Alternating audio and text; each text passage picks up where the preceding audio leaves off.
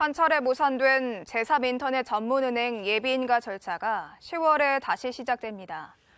금융위원회와 금융감독원은 이런 내용을 담은 인터넷 전문은행 신규 예비인가 재추진 방안을 발표했습니다. 금융당국은 오는 10월 예비인가 신청을 받고 60일 안에 심사 결과를 발표합니다. 앞서 금융위는 키움뱅크와 토스뱅크가 제출한 예비인가 신청을 모두 허가하지 않았습니다.